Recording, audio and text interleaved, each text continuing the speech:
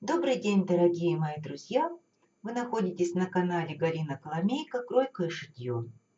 Сегодняшняя наша беседа в рамках э, такого э, некоторого курса, что ли, можно сказать, для начинающих предпринимателей, для тех, кто хотел бы уже масштабировать, монетизировать как-то свою любовь, свое умение шитью, свое увлечение, свое хобби перевести в профессию.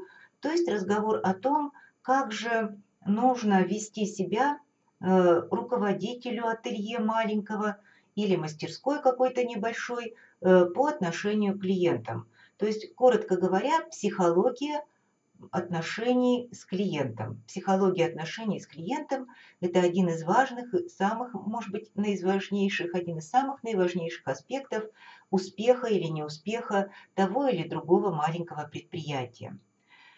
Но что вам хочется здесь сказать? Конечно, мои выводы основаны на моем собственном опыте, на опыте моих знакомых, на каких-то моих отдельных наблюдениях. Поэтому э, утверждать на 100%, что я абсолютно права, я не стану. Я просто рассказываю о том, э, каким мыслям меня привела та или иная ситуация, а вы уже сами для себя сделаете выбор в том ключе, насколько они для вас важны и насколько вы с ними согласны или нет. Как-то утверждать обратное, спорить, дискутировать на эту тему. Э, целью данной беседы, э, данной э, возможности поделиться с вами собственным опытом нет. Итак, какое, что главное в, в этом смысле я бы выделила? Главное, первое, это прежде всего любовь к тем людям, которые переступают порог, нашего маленького предприятия. Да, то есть если к вам пришел человек с просьбой э, э, оказать вам ему какую-то услугу, будь то ремонт одежды, будь то какой-то пошив какой-то одежды, да, прежде всего этого человека, как ни банально это звучит, нам с вами нужно любить. Любить загодя, любить заранее, любить до того, как он, это пере, как он переступил наш порог. Потому что только настрой на принятие любого, кто обратится к нам за помощью, э, каким бы он сложным не был, да, только любовь поможет вам решить этот конфликт, решить эту сложность, если вдруг она окажется в характере этого человека. Только принятие и также позиция, что, может быть, тоже это банально звучит, клиент всегда прав. Потому что когда к нам приходит этот самый клиент, мы должны забыть о своих проблемах, мы должны забыть о своих неприятностях, мы должны встретить его радушно, мы должны ему всегда улыбнуться. Конечно, это тоже банальные вещи, но как часто сегодня в Москве я наблюдаю совершенно обратное. Выходит ко мне, э, допустим, приемщик какого-то заказа в службе быта, да, и уже заранее у него сдвинуты брови, у него суровое выражение на лице, он заранее считает, что я скажу ему что-то неправильное, я поведу себя как-то неадекватно, и он уже как бы обороняется от меня, пытаясь нападать. То есть э, известно, что нападение – это лучшая защита. И человек приготовился к встрече чем-то для не, с чем-то для него неприятным. И это настолько создает сложную ситуацию, настолько создает большую проблему в коммуникациях, в общении между человеком, между клиентом и э, тем, кто оказывает ему ту или иную услугу, что хуже этого, я считаю, быть ничего не может. Но хуже этого может быть только само качество, э, плохое, низкое качество оказываемой вам услуги. Поэтому настройте себя на добро, настройте себя на улыбку. Если к вам постучались, пожалуйста, будьте приветливы, каким бы угрюмым не показался вам человек, который пришел к вам. Потому что ваша задача, ваша цель – это растопить сердитость, угрюмость, какой-то недоброжелательный настрой вот этого человека, если он к вам обратился. Потому что люди, которые обращаются к нам, это люди какой-то особой категории для нас именно с вами. Только доброжелательное к ним отношение, только бесконечное желание понять, чего же они от нас хотят, хотя это бывает порой очень трудно, будет помогать вам как-то дальше коммуницировать с ним и э, к обоюдному удовольствию завершить этот контакт. Ну а теперь давайте поговорим о людях. Так как мы работаем, а, ну можно сказать, на улице, не у себя дома зачастую, да, то к нам могут приходить самые разные личности. То есть, как я говорила своим девочкам, когда они обижались на наших клиентов, потому что приходили разные люди, я говорила, девочки, ведь к нам приходит практически срез нашего общества. То есть, какие люди есть в обществе, такие люди захотят укоротить брючки, или пошить юбочку, или же делать еще что-то, и придут к нам. Понимаете? А люди, особенно сегодня, в нашем обществе, самые-самые различные – и диаметрально иногда противоположные. Ну, что греха таить? Я скажу тоже вещь какую-то, может быть, очень резкую, но э, в обществе достаточно высок процент скрытых шизофренически просто больных людей, шизофреников. У них та или иная мания присутствует, да, то или иное, то-то или иная особенность какая-то у них есть в характере, и они порой бывают настолько неадекватны, и ведь они тоже могут попасть э, в сферу ваших интересов, да, то есть они тоже могут ведь захотеть, они не социально, не, не изолированы, они вращаются среди нас, это скрытое такое течение шизофрении в какой-то, может быть, мало выявленной форме, но оно присутствует. И вы, общаясь с таким человеком, сначала негодуете, почему человек не понимает самого обычного, почему он так неадекватно реагирует на вашу улыбку, на, то, на те слова, которые вы к нему обращаете. Понимаете, да только потому, что он болен. И если вы об этом догадываетесь, если вы к этому подготовлены, то столкнувшись с таким человеком и сразу раз, выключатель у вас вот так вот включился, человек болен. А когда человек болен, вы понимаете, что и тактика общения с этим больным человеком должна быть другой, еще более терпимой, еще более корректной, еще более вежливой и по возможности расстаньтесь с ним поскорее. Не надо вам принимать заказ у такого человека.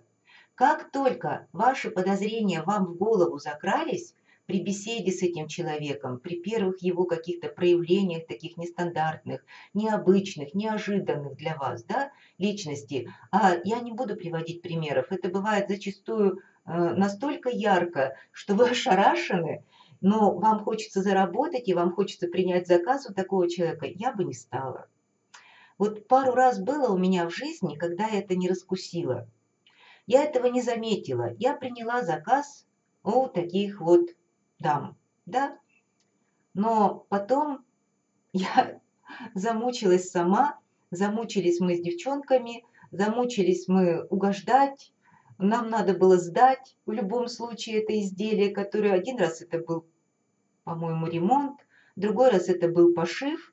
Настолько человек не воспринимал никаких, все сидело на нем хорошо. Понимаете, но у него в голове, у этой женщины в голове было какое-то свое видение того, что хорошо и что плохо.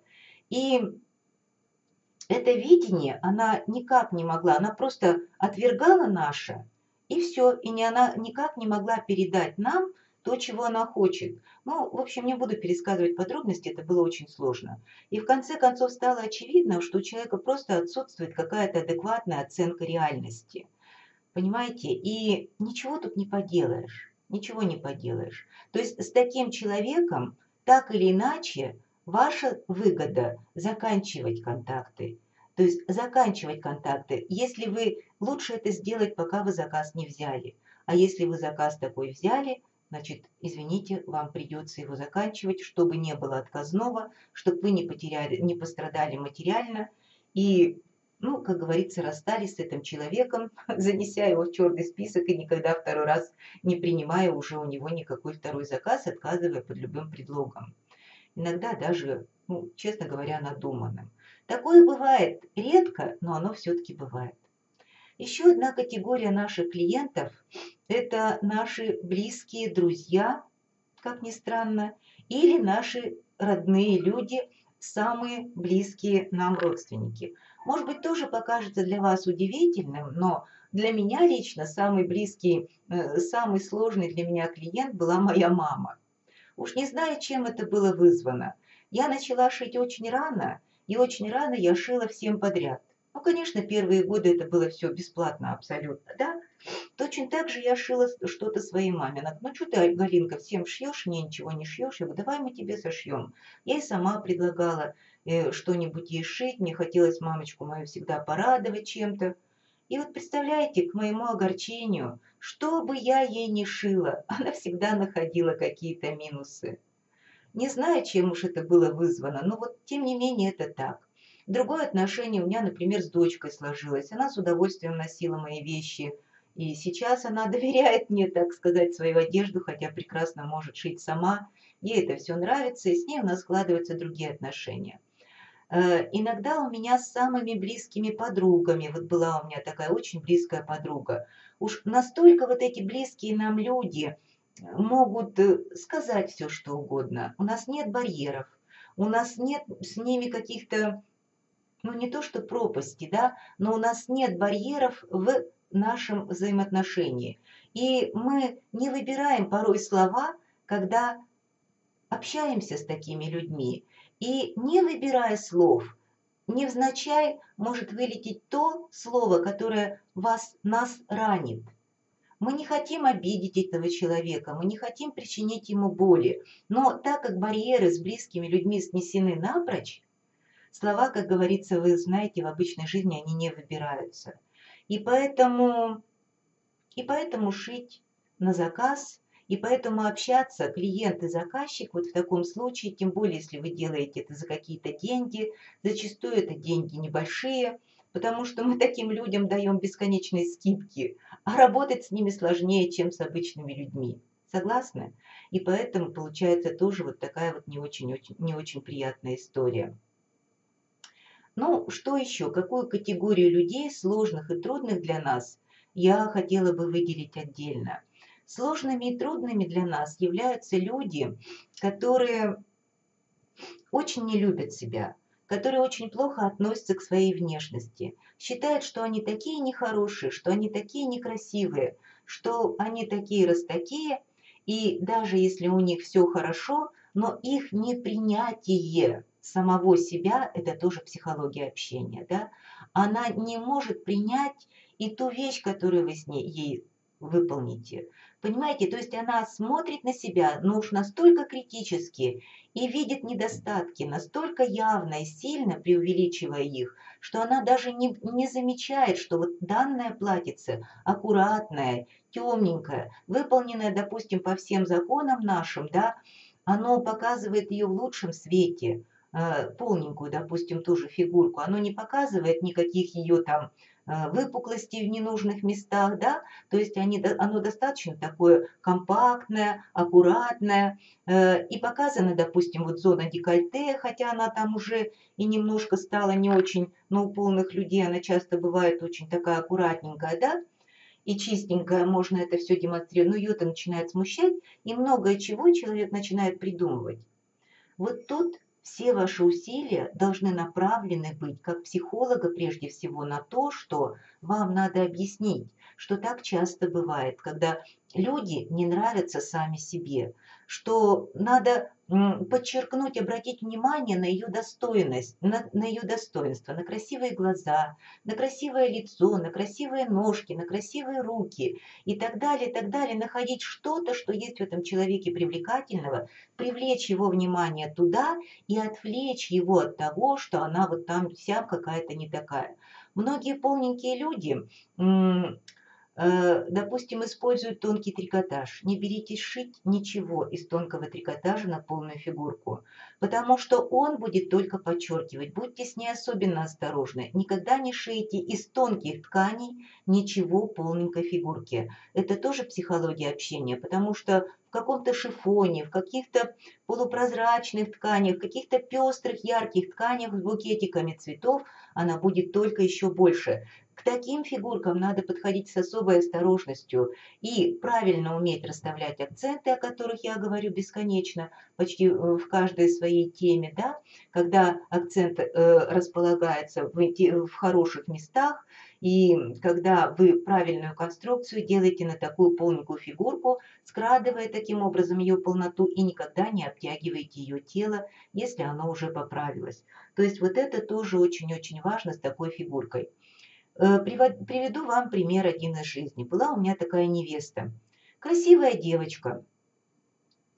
И вот она захотела сшить у нас платье. Платье она настояла, чтобы было, ну, правильно белое, кружевное там какое-то платье, но юбка у этого платья была укороченная выше колен вверху и очень длинная внизу. Там прям какой-то шлейф даже был, по-моему, у нас, неважно.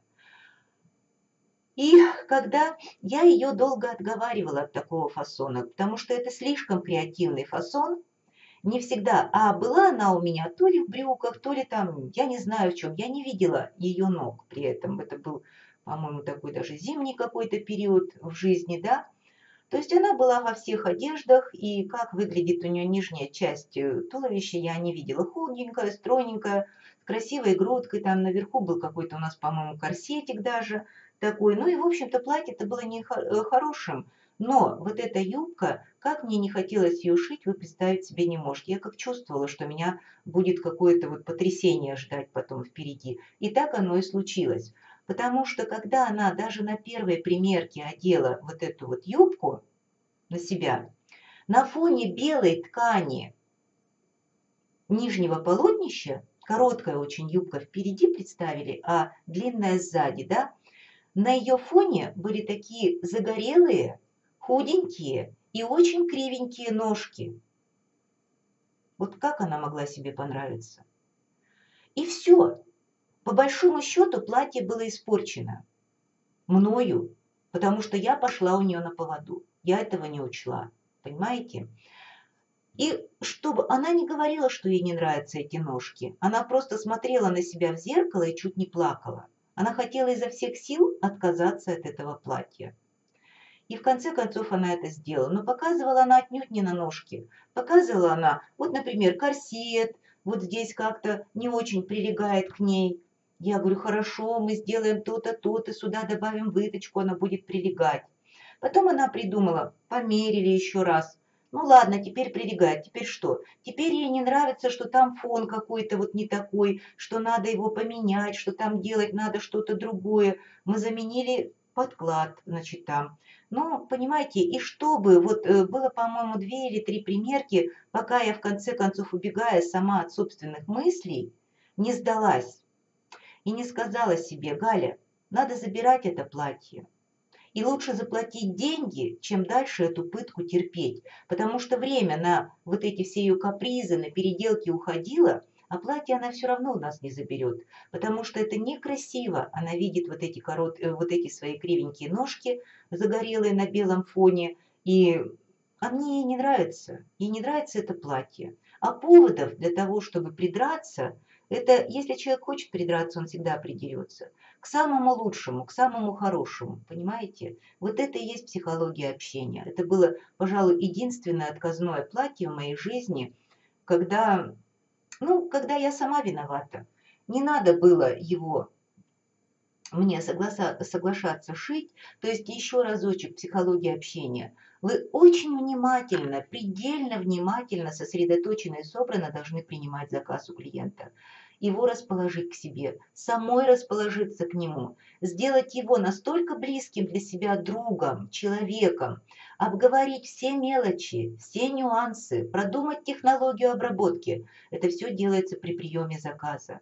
Понимаете, вот это психология общения. То есть, чтобы потом в результате работы вам не приходилось менять фасона из-за того, что тот или иной узел не выполняется. Перемена фасона для клиента – это всегда стресс. Она никогда этого не приемлет, никогда этого не примет. Ей надо максимально показать будущую вещь и обсудить с ней все детали и все мелочи в том виде, в каком эта вещь будет выполнена. Ну и, и конечно, нарисовать технический эскиз, максимально похожий на фигурку этого человека. Если я обычный технический эскиз рисую на обычного человека, это стройненькая девушка у нас, да, то когда человек приходит ко мне полненький, или нижнего типа, или верхнего типа, я и фигурку рисую такую. Сначала делаю наброски худенькой, потом раздвигаю как бы вот эти наброски и рисую уже форму достаточно такую аппетитную, для того, чтобы у человека не было каких-то иллюзий, и на такой аппетитной форме начинаю наносить какие-то детали. Но это отдельная тема, как составить технические эскизы. Возможно, я сниму когда-нибудь отдельное видео, хотя я уже, по-моему, его снимала. Но, тем не менее, повторение мать учения, это тоже будет важно, интересно. Итак, какой же у нас может быть итог? Итог прежде всего такой. Клиента надо полюбить. Клиента, его убеждение, что он какой-то нехороший, надо развенчать. Надо сделать ему много комплиментов, надо выявить лучшие его стороны, надо добиться таких отношений, чтобы он вам доверял. Когда клиент доверяет, когда клиент вас уже полюбил, он будет гораздо покладистей, гораздо легче будет с ним договориться. И если даже в процессе изготовления этого заказа пошло что-то не так, вот это его расположение, ваша дружелюбность, ваша доброжелательность не лицемерие, а искренняя доброжелательность, душевная. Понимаете, потому что любую фальшь любой человек послушает. Такая натянутая улыбка, если глаза холодные, если вы тарабаните какие-то заученные вещи перед этим клиентом, которые учат нас, маркетологов, продавать все, что угодно, это не прокатит. Понимаете, только искренность. Искренность, только любовь к жизни, к миру, к людям, к этому конкретному человеку поможет вам сдать ваш заказ. Без сучка и без заторинки. Ну и, конечно, профессионализм. Куда же без него? Поэтому желаю вам успеха. Задавайте свои вопросы. Все у нас с вами впереди. Всегда ваша Галина Коломейка. Автор безлекального метода кроя – и канала «Кройка и шитье» и автор множества книг по кройке и шитью. Всего вам доброго! Успехов!